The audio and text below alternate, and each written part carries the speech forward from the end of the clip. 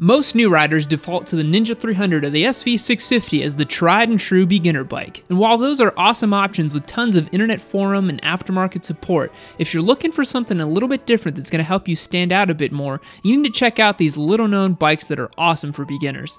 Before getting started, I wanted to shout out this video's sponsor, Vincero Watches. You guys have seen me wear watches and commented on them in my previous vlogs, and these guys make some of the best ones. I love their story because they saw an opportunity to make affordable watches for the everyday modern guy, but without the four or five figure price tag that's usually associated with it. They sent over this model for me to try out, and I've gotten tons of compliments on it. It really looks like a watch that should cost about 10 times what it actually does. If you're anything like me, a watch really sets apart any look you got going, and nothing looks quite as awesome as a well sorted watch and some really sweet street gear on your bike. We've partnered up, so click the link below to check them out and see yourself wearing one. The RVF 400. I got the opportunity to ride this little gem of a bike back when I visited Australia last year, and even though I was used to riding an FZ09, a 675R, and even some liter bikes, this little bike never failed to impress me.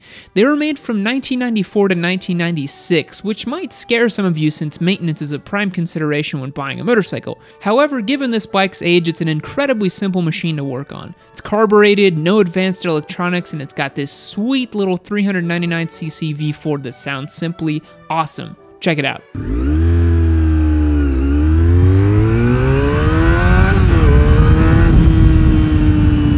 The RVF400 is perfect for the guy or girl that wants a proper sport bike ergonomics package but wants to start out with something that's got a lower amount of power that's not going to overwhelm a beginner. With 53 horsepower, it's a punchy little bike, but compared to the 600cc class that has well over 100 horsepower at this point, you'd have to really push it to get into trouble. Good examples can be found for anywhere between four and five thousand dollars since they're not a super sought after classic bike.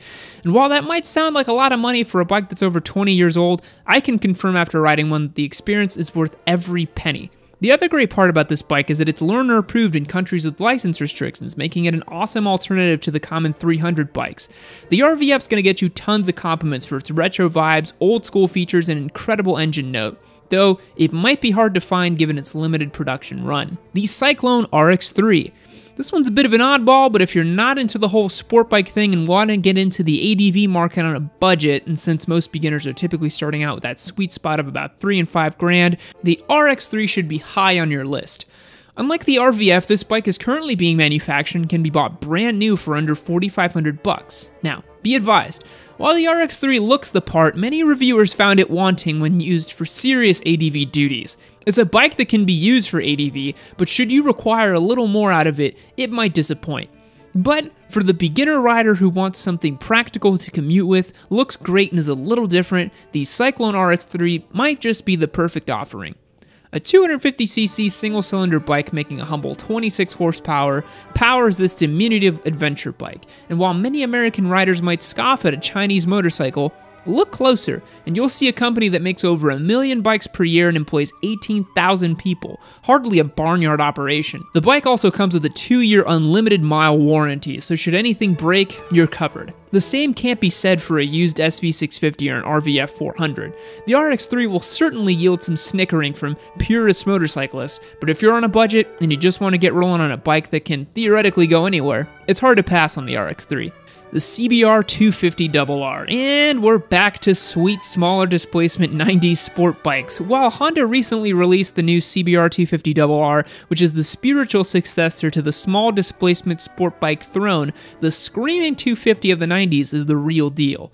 The CBR 250RR is the ideal solution for the beginner who wants nothing except that sweet sound of an inline four cylinder engine, but also wants to comply with learner restricted licenses, or just wants something that's a little lower power than a 600. A 250cc inline four that revs to over 16,000 RPM sounds crazy. Listen here.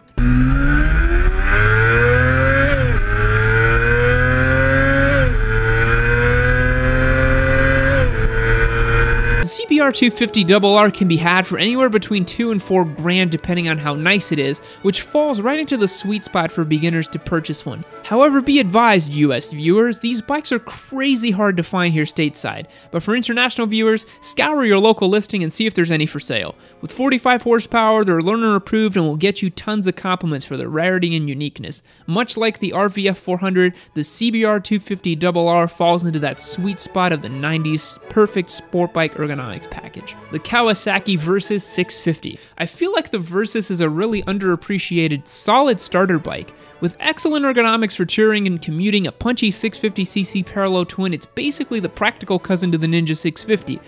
And while you can pick these up new for close to 8500 out the door, I'd advise checking out the used market to see where these can be had for around 4 or 5 grand all day.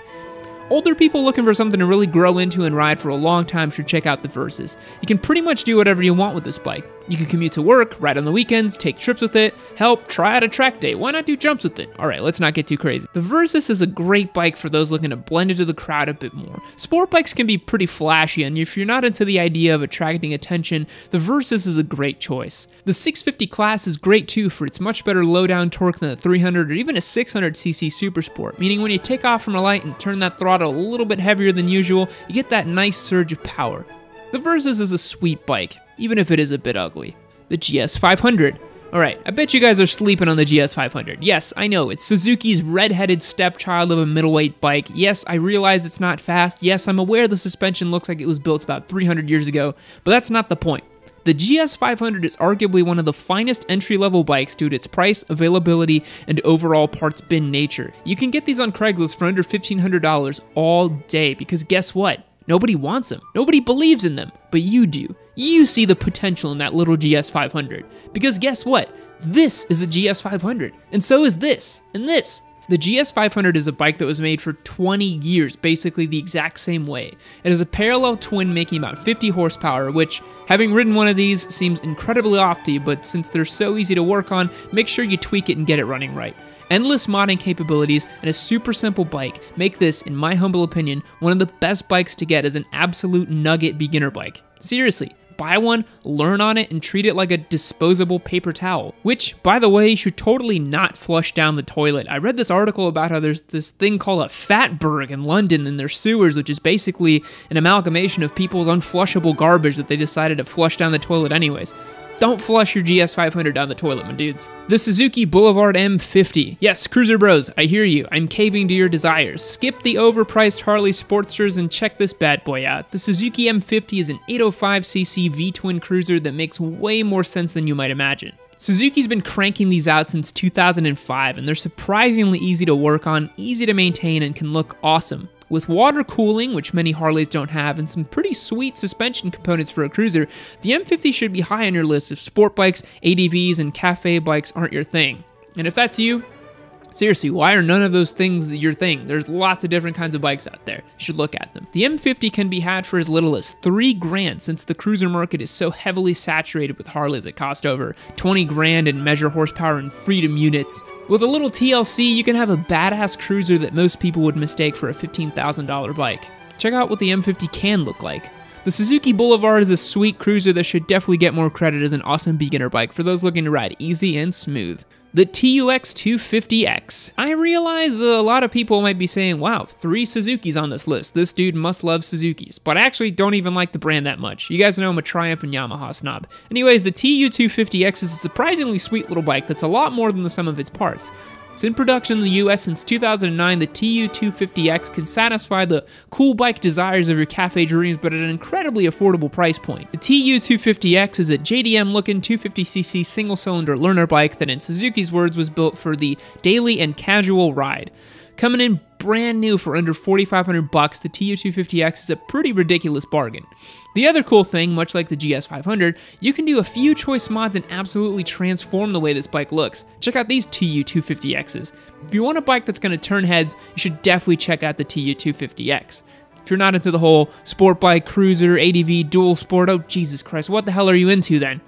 Thanks for checking out this video, guys. If you found it useful, even a little, leave a thumbs up. It really helps with the video's rankings on YouTube. If you're not a subscriber, consider giving a sub to the channel. I post up videos every week, and I try to keep it light and fun and usually about bikes. Thanks again, and I'll catch you guys next time.